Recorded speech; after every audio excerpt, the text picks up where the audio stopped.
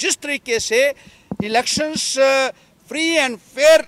का मज़ाक उड़ाया गया है और भारी पैमाने के ऊपर धांधलियाँ हुई हैं, उसके लिए हम कहना चाहते हैं कि उधमपुर जिला के जो डीडीसी चुनाव हैं, उनको रद्द किया जाए और